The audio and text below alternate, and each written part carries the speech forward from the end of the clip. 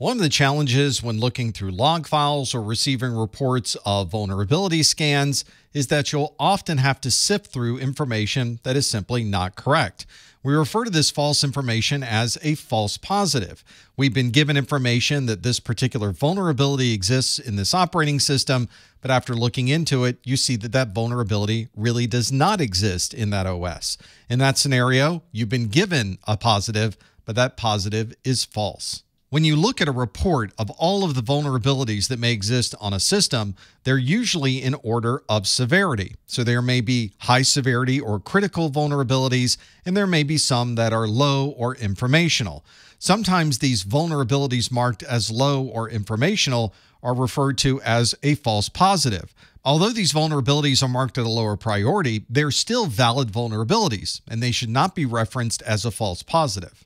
The reverse scenario to a false positive would be a false negative. And in many ways, a false negative is much worse than a false positive. A false negative means that the vulnerability does exist on that operating system, but your scanning software did not detect it. That means in your report of known vulnerabilities, you won't see that vulnerability listed anywhere. And if an attacker does come across that system, they may be able to exploit that vulnerability that you had no idea even existed.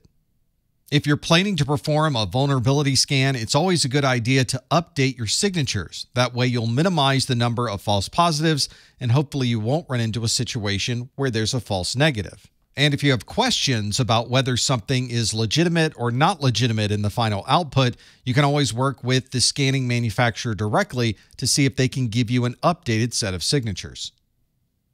This categorization of severity is an important one because the critical vulnerabilities will probably need to be addressed first, and the low and informational vulnerabilities may be the last thing to address.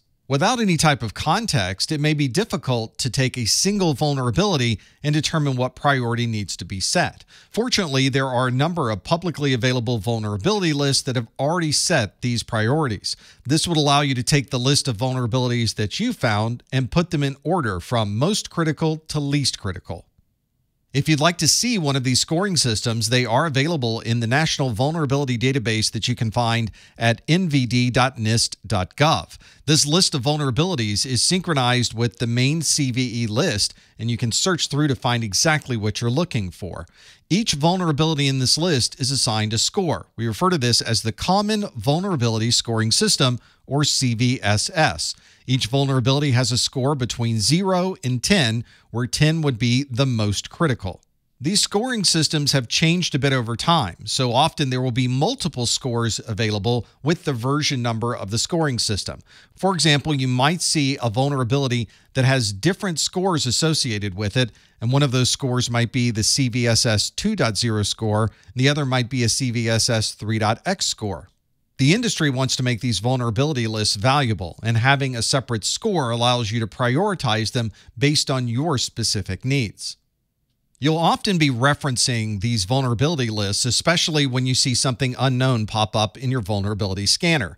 Fortunately, all of these lists are available online, and most vulnerability scanners will specify what CVE is associated with that vulnerability.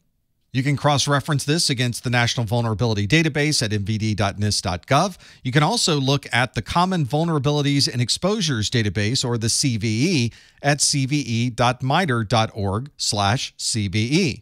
If the vulnerability is specific to Microsoft, you might even check the Microsoft website and the URLs listed here for the Microsoft security bulletins. Most manufacturers will have a database of their own vulnerabilities, so once you've referenced the CVE database, you may want to go directly to the manufacturer to see what other information they can provide.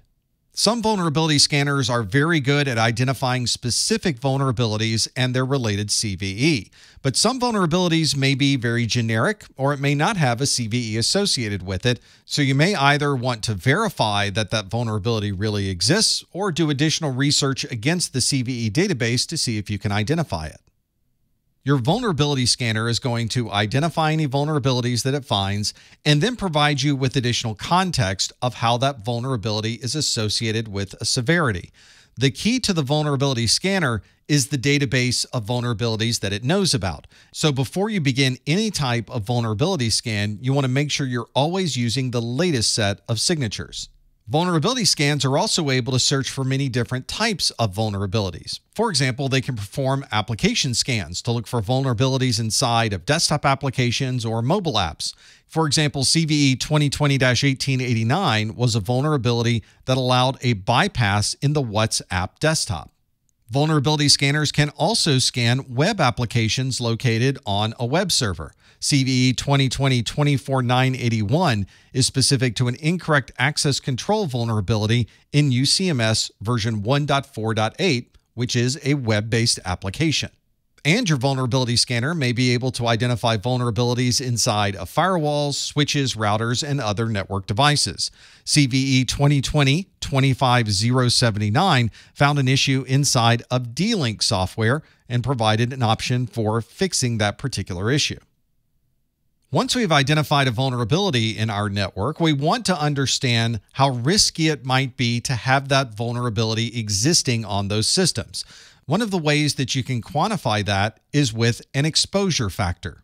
An exposure factor is usually represented as a percentage. For example, if this vulnerability might cause this particular service to become unavailable half the time, we can specify that that is a 50% exposure factor. Or we know that this particular vulnerability doesn't have any patches, it's available on our public web servers, and if somebody does exploit that vulnerability, they may be able to completely disable a service. In that situation, we might want to consider that a 100% exposure factor.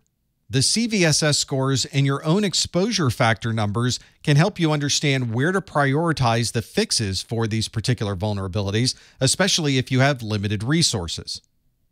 Another consideration when planning for patching is understanding the environment. This vulnerability might exist on a public cloud or it might be in a test lab, and we would handle the patching for those in very different ways. We would obviously want to patch both of those different environments, but something that is on a public cloud that's accessible to everyone on the internet would obviously have a much higher priority than a single system located in a lab which has no other connectivity to the rest of the network. Every organization has a different set of metrics when it comes to determining what's important and what isn't, but usually you would look at the number and type of users that would be accessing that system and whether the system is one that's only internally facing or whether it's one that may be available to others outside the organization. We might also want to consider if this application is a key or critical application for the company, and if this application happens to be revenue generating. And of course, if this is a relatively easy vulnerability to exploit, it may be at the highest priority for fixing as quickly as possible. The impact can also be very different depending on the type of organization it might be. Some organizations are much more sensitive to any type of outage than others. For example, Tallahassee Memorial Healthcare in February of 2023 was hit with ransomware and they were closed for 2 weeks. During that time frame, they had to divert all emergency cases to different hospitals and anything that was scheduled for surgery during that time frame had to be canceled. There's a different set of considerations if your organization is one that is a power generator. For example, in March of 2019 in Salt Lake City, Utah, and LA County, California, there were distributed denial of service attacks that brought systems down for both of those organizations. All of these attacks obviously had a dramatic impact on all of these organizations. But depending on the type of organization you are, the same exploit could have a very different effect across different organizations. One of the challenges of managing security patches is that you can't patch all devices all at the same time. You have to set some type of priority over which patch is installed first, which is installed second, and so on. The process of determining which device may be more important than another may depend on how risky it is to have that vulnerability exist on that device. We refer to this prioritization as a risk tolerance. This describes how much risk an organization is willing to accept by having that particular vulnerability still unpatched. It would be great if we could take a patch from a manufacturer and immediately install it the moment it's available.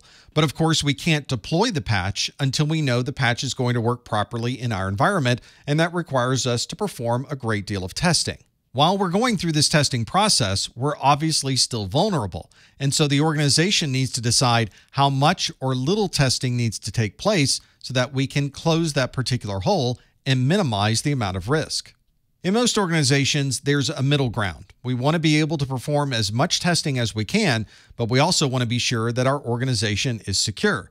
And if this particular vulnerability is one that affects many of our systems and it's a relatively easy vulnerability to exploit, we may have a very low tolerance and we may want to rush through that testing process so we can patch those systems as quickly as possible.